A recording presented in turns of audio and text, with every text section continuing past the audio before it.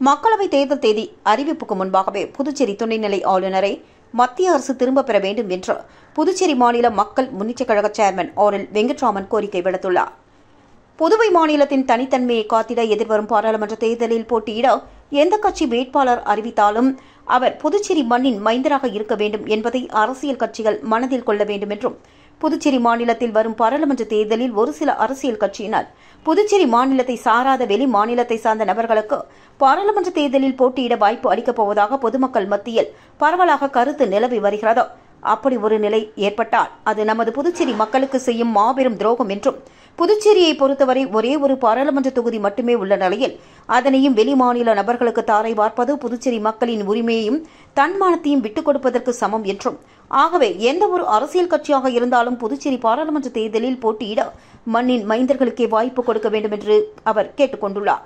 புதுச்சேரி துணைநிலை ஆளுநர் தமிழிசை சவுந்தரராஜனை புதுச்சேரி பொறுப்பு துணைநிலை ஆளுநர் பதவியில் நியமித்து மூன்று ஆண்டுகள் ஆகிவிட்ட நிலையில் தற்காலிகமாக நியமிக்கப்பட்டவர் என்றால் அது நிரந்தரமாக ஒருவரை நியமிக்கப்படும் வரைதான் என்பதை மத்திய அரசு புரிந்து கொள்ள வேண்டும் என்றும் அதை விடுத்து தற்காலிகமாக என்று நியமித்துவிட்டு புதுவைக்கு நிரந்தர துணைநிலை ஆளுநரை நியமிக்காமல் மத்திய அரசு காலம் கடத்தி தனது சுயநலத்திற்காக புதுவை மக்களை வஞ்சிப்பது எந்த விதத்தில் நியாயம் என்றும் கேள்வி எழுப்பியுள்ளார். மேலும் பாராளுமன்ற தேர்தல் நேரத்தில் புதுச்சேரி மாநிலத்தில் துணைநிலை ஆளுநர் பொறுப்பு வகித்தால் நடைபெறவுள்ள புதுச்சேரி பாராளுமன்ற தேர்தல் நியாயமாக நடைபெறுவது கேள்விக்குறியாகும் என்றும். எடுத்துக்காட்டாக கடந்த இரண்டாயிரத்தி இருபத்தி ஓராண்டு மே மாதம் முதல்வர் ரங்கசாமி பதவியேற்ற சில நாட்களிலேயே சென்னையில் உள்ள மருத்துவமனையில் சிகிச்சைக்காக அனுமதிக்கப்பட்டார்.